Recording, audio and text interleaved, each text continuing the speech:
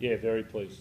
Thought uh, thought the guys worked really hard. I thought you know it's hard to fault one of the 17 players uh, in the way they went about the game and the conditions and the way that you know they still tried to to play some really good footy. There was some good width on uh, on a lot of plays from both sides. So I thought I think we went 95% or something in the first half. That's a that's a uh, that's a in those conditions that's great. I was really happy. Did you think the game would go ahead at any point? Uh, no, I think the litmus test was the Cronulla South one last year, and I think if that went ahead, I'm not sure whether they would again, but I think anything will go ahead. So um, I, was, I was actually really impressed with the field. I thought uh, the field held up well, or whatever they did, it was in good condition to play. Which usually, I think, when you play the ball, obviously Nug had a lot of work to do behind the ruck, that it still rolled pretty well. So, um, you know, it's a they've copped a bit in the last day, I think, groundsman. So I think uh, a pat on the back to the SFS uh, groundsman. What was it like out there, Jake? Because it was really willing early on, and there was some good footy, but there was friends and family. Yeah, no, um, yeah, like Trent said, the, the track was actually surprisingly good, and um, there was a few little soggy patches, but majority of the field was um, well, pretty fast. So I think, um, yeah, we set the game up pretty well, and um, yeah, we talked coming into the game about wet weather footy. We all loved playing wet weather footy when we were kids, and um, I think that sort of come through. The boys were excited to play, and, and we talked about playing a tough, tough game and a, and a field position game, and um, we got that on from the start. So. Well, in front row, Jared, Dylan Williams, Yeah, I thought I thought Jared um, decided that he was going to go out there and target a few guys, and, and he did. Uh, and he just he carried. I think he often carried one of the first plays, and then and then the last play to set up our kick a lot of the time. Um, and yeah, some and, and they also, you know, it, it cost us a couple of penalties, but they also were quite physical in their defence. They decided to to bring some emotion at, at a couple of different occasions there to, to be physical. Um, you know, and even these guys around them, they, they were getting off the line to try and put some pressure on the ball carriers at different times. So, uh, yeah, they were, they were very good, the front rowers. How do you put context, Trent, that we will continually look at the points table and talk about the run home, how tough that is? How do you guys focus? Well, I think that got us a couple of weeks ago, to be honest.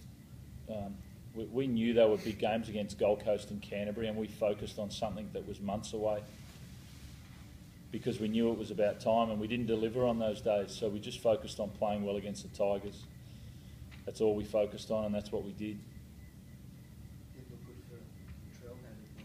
I don't know that he just went to get scans. So Isaac Liu and and and Latrell both ankle uh, injuries. So uh, yeah, short term doesn't look good. I just hope it's hope it's okay.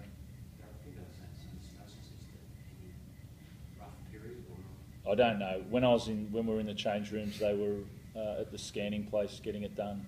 So uh, I hope not, but uh, it's pretty common these days. Yeah, Connor Watson, um, people might, would probably know him as a five-eighth, but played a lot of fullback coming through uh, the grades out of Central Coast and, and even a bit of rugby union there. But he's, uh, yeah, he, he's one of his preferred positions is fullback. So uh, he added a bit of spark as he always does in whichever position he plays.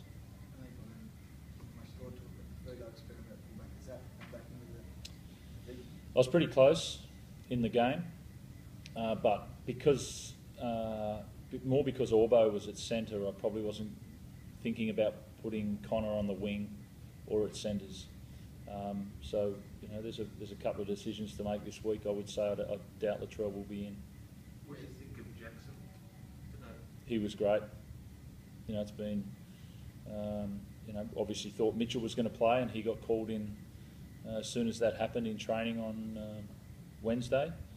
Uh, and I thought between Jake, uh, Ryan Matterson, and, and, and Jacko, they were they were really good. You know, it becomes a lot of pressure gets put back on decision makers in these conditions because it doesn't matter what happens, however else they play, they have to kick well. You have to kick well on these days, uh, and that's uh, the boys did a really good job. What does he have to do to put himself back in the frame for this team? Which, which is back? Play like he did today.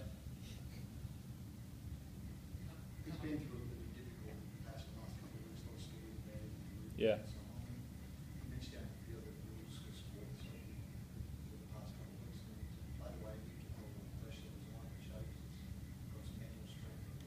Yeah, it's hard as a coach. I dropped him, and then I also put him back in. So um, that's the bit as a coach. You don't. You're not always the good news guy. You, you have to give him bad news, and and that hurt obviously um, for a couple of weeks. But when Junior got injured, you know, it was on in the middle of a set in training, and we just put Jacko straight there. So that's that's the thing uh, with coaching. You can still support a guy with if even though you drop him, and that's it's, and then we got a performance like tonight. So you know, it's been it hasn't been the easiest couple of weeks, but um, we're paid to do this. This is our job, and, and we've got to make sure we go out there and, and coach or perform well, no matter the circumstances. And, and Jacko is a credit to him the way he did that today. Mitch Stevens dropped, slot straight back in. Is he- is he Oh, Mitch is Mitch is our halfback, so if he's if he's right to go, I'm not sure. It's a calf. It's not. It's not a. It's not um, a long injury, um, but we've got to make. It'll be touch and go. It'll be ten days, so the calves are